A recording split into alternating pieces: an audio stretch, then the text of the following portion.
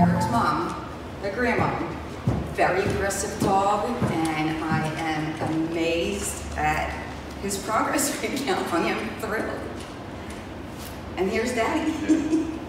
He's made great improvements. It's, uh, it's Amazing. un- unbelievable. Sit. Look at that. Good boy. Yeah. Yeah, no, I, I have Good no, boy. no doubts that uh, You can take a leash and raise him up. That Yeah. he's much better off now. No doubt. He's leaps and bounds better. Absolutely. Good job. Thank you so much. did such a great job. Wonderful. So thrilled.